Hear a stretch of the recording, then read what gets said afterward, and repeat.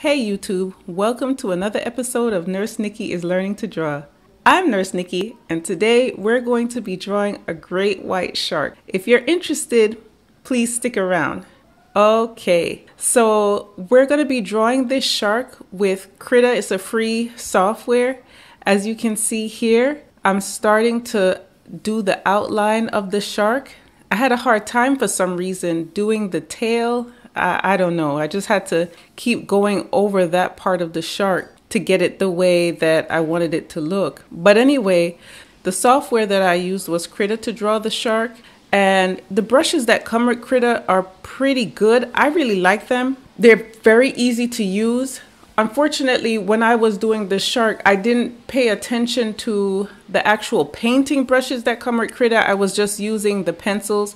So as you can see, as I go along, I had a little bit of a hard time getting stuff blended. It came out okay in the end, I think. I really liked the way it turned out in the end, but it, the struggle was real during this. Anyway, so I did just kind of go back around and, and made sure that the shape of what I drew was what I wanted and then made sure that any additional parts of the shark that I left off, as you can see there, I left off one of the uh, fins that I drew those in. And then just continue to go around and start to color in the shark. So so at the top there you saw I put a color palette so that I could keep choosing that color when I was going back in to color the shark to make sure that the colors were pretty much consistent as opposed to keep trying to pick them out the color picker each time because that's terribly efficient and a lot of times you won't get the color that you're needing. And so, anyway, I just continued to go around and I tried to add some detailing with this, which again, because I didn't use the right brushes, I ended up using the pencil tools. It didn't come out as well as probably it would have for somebody who's a little bit more experienced in using uh, doing digital paintings. So hopefully at the end you'll see that the shark did come together very well. And then I did have to go back in, or I felt like I had to go back in anyway, and do some uh, line work around the shark, just kind of experimenting to see how I can use the program to get the effect that I wanted as far as trying to do a semi-realistic drawing. And like I said, I think it came out well. Just went in and tried to make sure that I got highlights in. So that's that's where you start to see me. I didn't put white. That's where you start to see me erasing certain areas so that the white background could come through to show the highlights. Now that was a mistake. That was a mistake. And if you stick around to the end, you'll see why that was a mistake. But anyway, so the shark is starting to take form very well. The digital drawing tablet that I used was the Artist 15.6 Pro. I think that thing is so nice. I really enjoy using it. I'm getting used to drawing on a tablet. It's not as it's not as easy as I would have thought it would be. Just I think it's more so the I think it's much more the fact that it does not feel like paper is the biggest thing but other than that, I really do like it. It's a pleasure to use. I think it's a good tablet. It's a budget tablet, right? So I paid 360 for it. I think right now if you were to buy it on Amazon, they have it to where there's like a either a 10, I think it's a 10 it's a 10%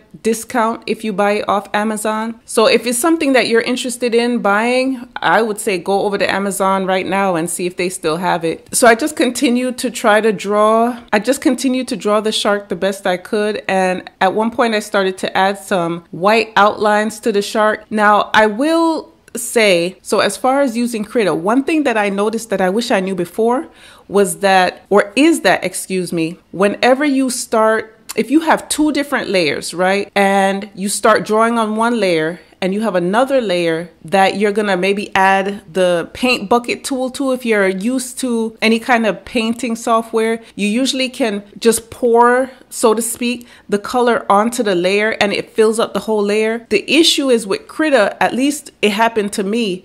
If you have a layer on top with the drawing in there and you pour the bucket on another layer while that drawing layer is visible, it won't fill in the whole thing. You actually have to turn off the layer that has the drawing, then pour the bucket on the other layer, and then re-enable the layer with the drawing so you can now see whatever you drew and then it will be all filled in in the back. But if you don't do it that way it's it's not going to work. So just wanted to let you know that's something that i found out but i think it's a pretty good software. You can't get you can't get a better price than free so I, I say you know try and download it and, and see what you can see. So anyway i did do some white high highlighting around the fish and that's why in this portion of the video, this is basically where I found out that paint bucket tool worked in that way. And another thing that I realized too is that you cannot, for some reason for me, I don't know, maybe I can get some words of wisdom from others that use Krita. But what I noticed as well is that when I use the color picker tool off the background that I'm using,